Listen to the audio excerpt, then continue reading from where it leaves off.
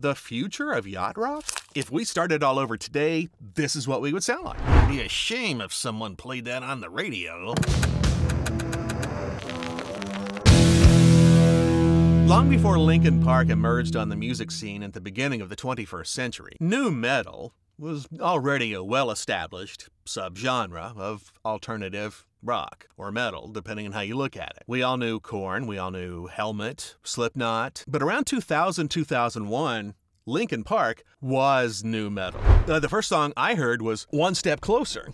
Uh, so I would have been, you know, in my early mid 30s when this album, when, when that came out, and I was still kind of angry. So, needless to say, One Step Closer had a great deal of appeal to me. The first song on the album is Paper Cut. And I'm not really sure why that's the opening track. I don't really love this song. It's a good song, but it's not. When I think about and compare it to what else I'm going to hear on Hybrid Theory, I don't understand why Paper Cut's the first track. Uh, in the end, peaked at number two in the top 40 uh, so this band quickly established a following beyond just uh, modern rock radio and, and alternative radio. Hybrid Theory would go on to become a diamond certified 10 times platinum album. It would pick up a Grammy nomination for Best Rock Album. It won the Grammy for Best Hard Rock Performance for Crawling, a song about Bennington's substance abuse issues. And I can't believe the video lost to Limp Bizkit. You know, this album came out the same year, the same year, and pro- probably almost as successful of an album, Chocolate Starfish and the Hot Dog Flavored Water from Limp Bizkit. If you liked both albums equally, I think you just you just liked Loud and Angry because I think Linkin Park, I think the songwriting in Linkin Park was so much better, and I do think time has proven that Linkin Park endured in a way that Limp Bizkit did not. Anyway, I digress. Uh, Runaway is an underappreciated uh, nu metal track, Points of Authority, is a keeper. It's got a nasty groove to it. Pushing Me Away is a solid closer, but really, structure wise, it's, it's a lot like Crawling if you listen to it. Uh, nonetheless, I do believe that Hybrid Theory is a classic, classic album. It is one of my favorite albums from that time period. I think if you claim to like nu metal and you don't, and this album is not something you know frontwards and backwards and a part of your collection, I don't, I don't know about you. I don't know about you. Uh, Reanimation followed in 2002 uh, with Mike Shinoda and various other collaborators producing. This album went platinum. It's it's a remix album. It is the fourth best-selling remix album of all time, by the way. So interest in the band was still very high. One Step Closer with Jonathan Davis. Uh, and then there was a remix with Marilyn Manson that was a bonus track on certain versions of this album. Those really the two only tracks that I really cared for. I'm not I'm not a big fan of the fact that Linkin Park was a band that really liked to lean into these remixes. I really feel like their music stood on its own very well. I'm not sure. I don't know. I don't want to say that you know this was an attempt to expand their fan base by by doing these albums. Whew, I don't know if I'm going to get any hate for that, but I mean that's just that's just how I feel about about uh, a lot those remix albums. Really. Okay, you know what? I'm going to be real honest with you. It's okay. I can't really, in good conscience, say that it's not at least worth listening. Meteora followed in 2003. Uh, it was produced, and again, Don Gilmore was involved in producing. This album was almost as successful as Hybrid Theory. It went seven times platinum. Uh, it picked up a Grammy nomination for Best Rock Album.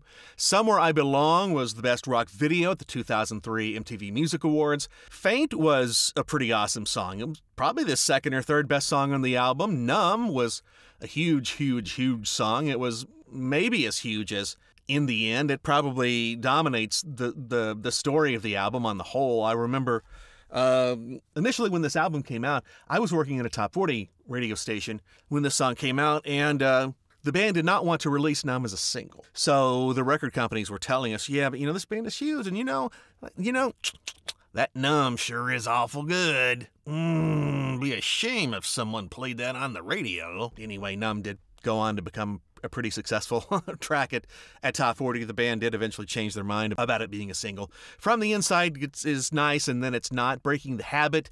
I love the strings that linger throughout this song. I think I've said before in some of my other videos that I like. Uh, I do like when rock music incorporates elements of classical music.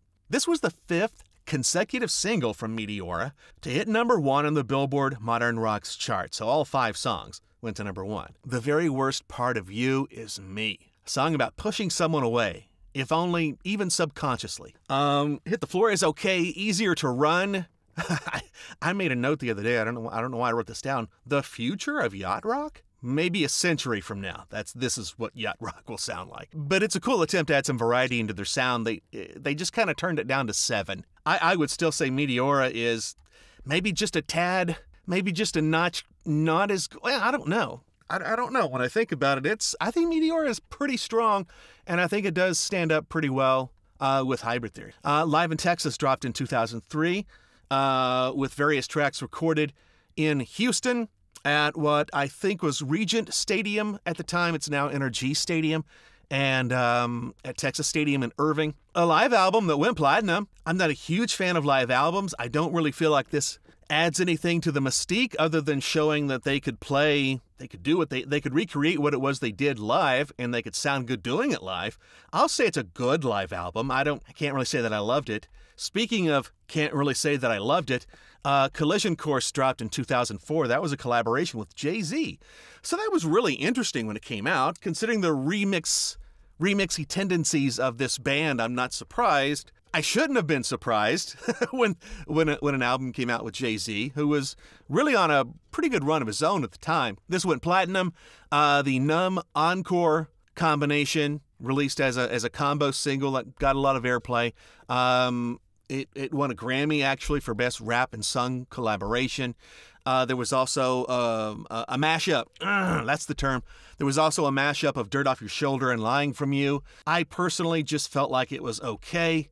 Uh, Collision Course didn't. I don't love the remix stuff, people. I'm sorry. Minutes to Midnight dropped in 2007.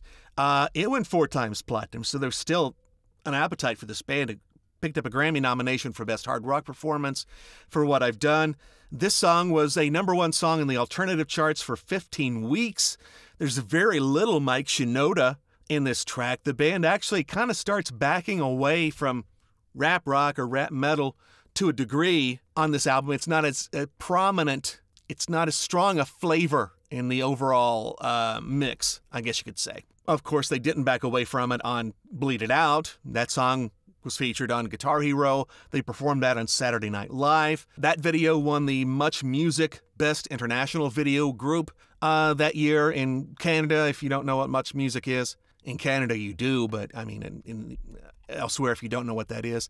Uh, Shadow of the Day was the best rock video at the 2008 MTV VMAs. Given Up has really undeniable punk vibes and a 17 second scream from Chester. I don't know if that's the longest ever on record, but damn, put me out of my misery. Yeah. Leave Out All the Rest has one of the best melodies of any Linkin Park song. Uh, you know, Lighters Up, you know what I mean? Uh, was not a huge hit. It was the fifth single. Uh, maybe at this point, five singles in after a previous album with five singles in, maybe there was, I don't know, maybe there was a little bit of Linkin Park burnout going on there. Uh, the opening track is Wake. Uh, the first time you hear it, the first time you hear it, you're kind of like, I wonder if Pink Floyd is trying something new. The the beginning of the album, I, I don't think it's what one would expect from Linkin Park. The first two thirds of this album is pretty solid. The last third is okay. Uh, in between, I don't know about that. In pieces, the band does continue to evolve on this album. There are more, I guess you could say, quiet moments on this album than uh, definitely what you'd expect. Um, in my opinion, this was a good, not great album.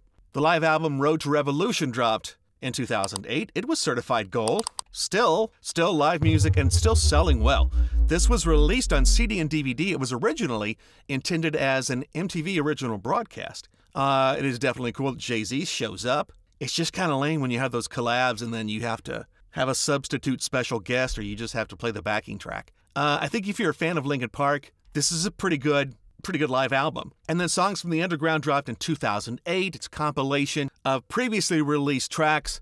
Um, there's a version of Hunger Strike by Chris Cornell that features Chester Bennington on it. I'm putting this on the non essential tier, and you'll find out why in just a few minutes. We'll get to that. So it's the 21st century, and if you're a rock band, you have to do interesting things to uh, get people's attention and hold people's attention. 8 Bit Rebellion. This was. Well, Linkin Park was down to experiment. I don't think there's any doubt about that. This was a special piece of media created for gamers, really. It featured one new song called Blackbirds, which is a B, B plus song. Um, the versions of all the other songs on the whole really aren't aren't a very listenable aren't a very enjoyable listening experience um, if you're not experiencing them in the game.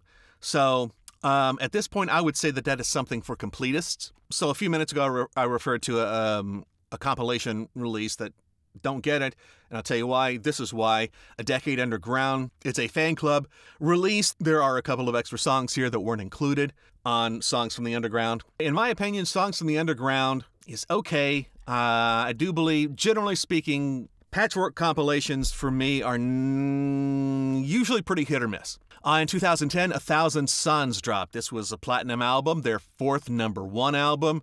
Picked up a Best Hard Rock Performance Grammy nomination for The Catalyst which was the first single. It's an absolute banger. When I first heard this, I thought I'm I'm really I'm really looking forward to hearing A Thousand Suns. Blackout is crunchy. Wretches and Kings has these cool sort of public enemy vibes. They did Waiting for the End on Saturday Night Live. It was the second single from the album. Great song. Burning in the Skies. Smooth. Iridescent was featured in one of the Transformers movies. Beautiful song.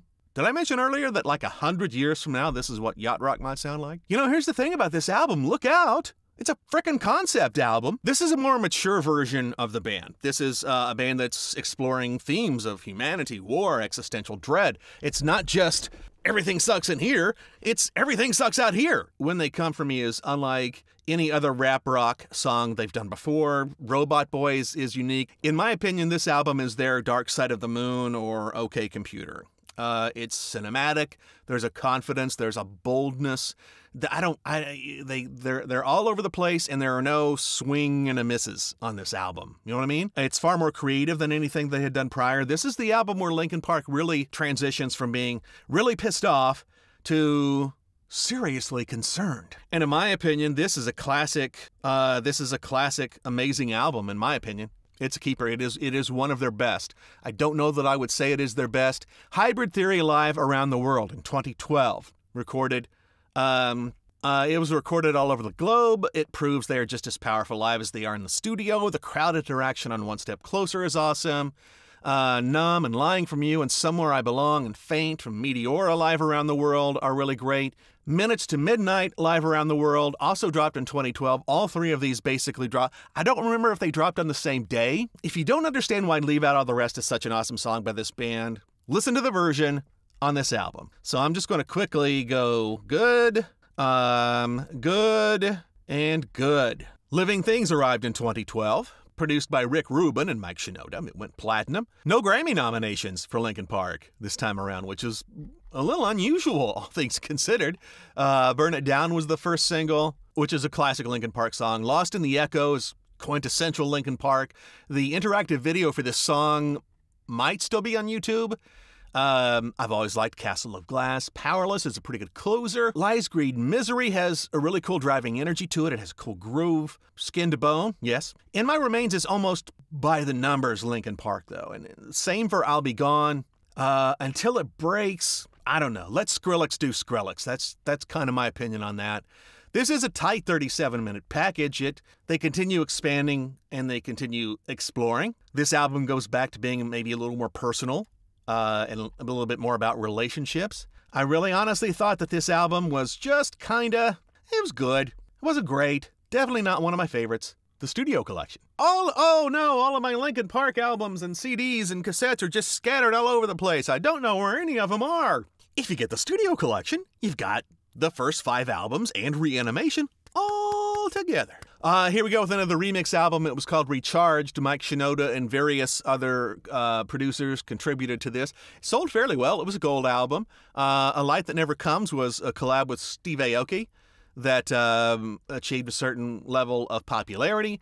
If you really like their remix albums, I'd say go for it. If you don't, I think it's an okay. See, here's the thing it's nothing that I ever go back to uh, and probably never would. A Light That Never Comes, the remix compilation. The track with Steve Aoki gets, let's, shall we say, further exploration.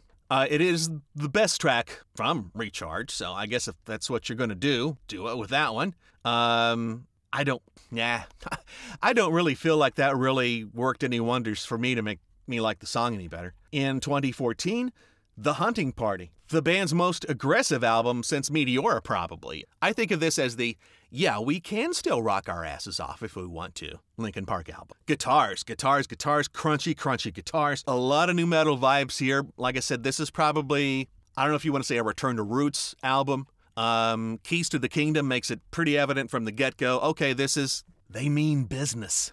Uh, Guilty All the Same with Rakim. I like that track. Wastelands uh, was a single. Until It's Gone has In the End vibes. Rebellion, yes. Drawbar, yes. Uh, Final Masquerade, yes. War, War is the most punk thing they've done since. If you hated Minutes to Midnight and A Thousand Suns and Living Things, I bet you this is probably where you felt like, ah, they're back. Uh, and this album doesn't really feel like they're phoning it in. It's not like, well, we better do another heavy album again. To me, this album is like, if we started all over today, this is what we would sound like. Uh, in fact, I hate how much I like this album, really, because I I like the more I, I really like the more balanced and electronically flavored version of Linkin Park better. I don't hate to use the term mellower.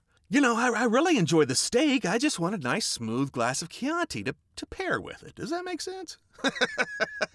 I would not say that this is one of my favorite, favorite albums. I would not say that it's a classic, but something's got to go in this great tier, and this is definitely great. I mean, there's just nothing wrong with this album. There's no reason to dislike this album other than you wish it had a little bit more atmosphere to it. Mal, the band made a game. Okay, this is ambitious and it's it's interesting to check out. I don't really feel like this is I, I don't know. Personally, I, I just didn't I just didn't care. Uh, in 2017, one More Light. You remember how I said I hated how much I loved the hunting party because it just really lacked balance and it didn't have a lot of atmosphere and it was just so damn crunchy and, and angry and, and it was just, but it did such a damn good job of doing that. Well, One More Light is where it was the band's fifth number one album, so obviously people were wanting to check it out. Um, there were four singles Heavy, Battle Symphony, uh, Good Goodbye. Uh, Talking to Myself was the first single released after Chester Bennington's passing. Um, what did you think the first time you heard the ironically titled Heavy? Invisible is a very a personal song about fatherhood. I, I wanted to like it. Lyrically, I kind of like it. But so much of this album is so pop. And I don't hate pop music. It just feels like the, the production of this album really wanted to be, let's really lean into being let's lean into making a pop album. It's almost like it wanted to be a 21 Pilots album or something. Not every song is bad, uh, but the guitars are basically just all gone after roaring back to life on the hunting party. Why? I, I the title track is potentially a really good song. And you know, there's still time. There's still time. Give give the master tapes or master files to Trent Reznor and see see what he can do with it. You know, because I like the band, I want to I want to at least say that it's okay, but I'll be real honest with you, I would just leave this out of my collection. As far as the passing of Chester Bennington goes, um, I definitely, I, I don't want to go on a big long tangent here, but I will say that a lot of the world is full of people who do not understand, respect the incredible destructive power of depression. And it's sad.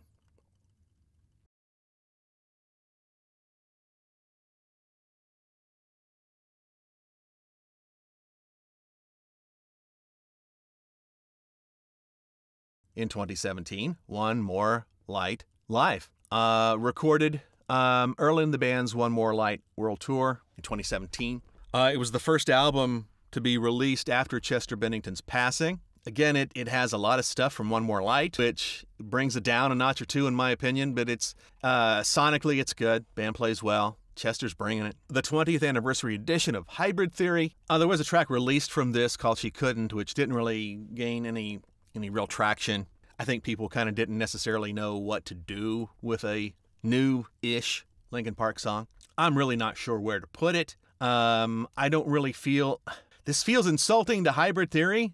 No, you know what? I'm just gonna if, if Hybrid Theory is a classic favorite, and same thing uh, with Meteora. Meteora did contain a track. The Meteora 20th anniversary package featured a track called Lost, which was a good song.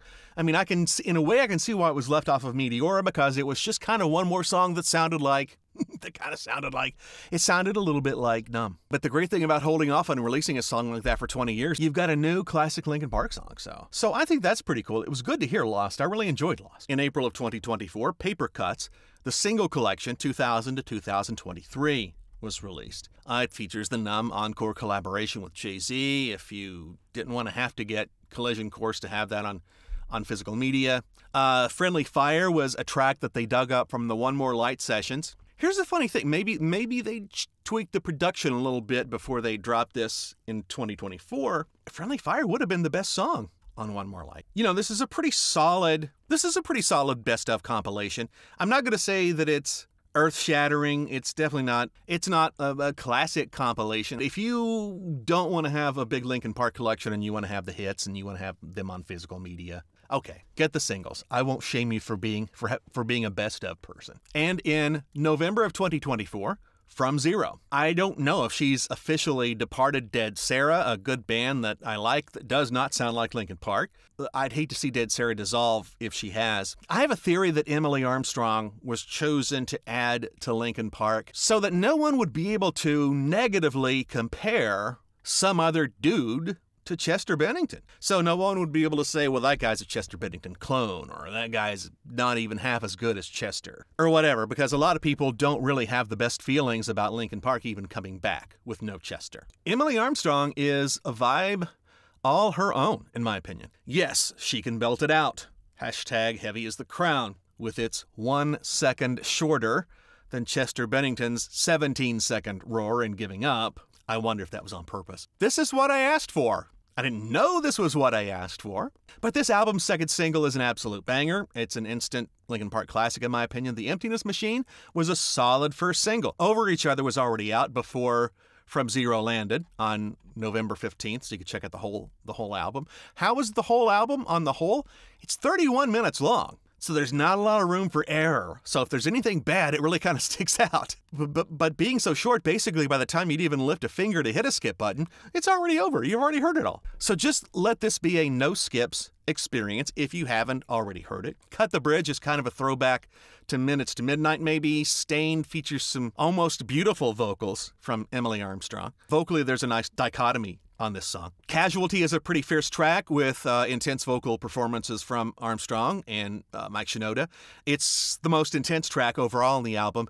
It has hunting party vibes. Um, and then it rolls straight into the very moody, very atmospheric overflow. I give you everything I have is intense but melodic, but intense but it has a melody to it. But it's very intense. Uh, Good Things Go, the album's closer. That's a solid, solid track. And I would say don't be surprised if that's not released as a single and a video sometime in the relatively near future. So I think that From Zero is a strong, if maybe kind of predictable, new beginning for Linkin Park. I would put it on this tier. And just my opinion, but if you want to put it lower than that, I'm I'm not sure you're giving it a fair shot. Um, I think the band knew that that deciding to come back was going to be met with a certain amount of resistance, and I think they really let me put it this way they didn't make One More Light Part 2, now did they? So feel free to share your thoughts and comments, yays and nays, what the hell are you thinkings? Uh, in the comments, share with a friend. I'm going to put uh, a couple more of my tier list videos up here so you can check those out if you want. It's up to you, of course, but hopefully I'll catch you next time.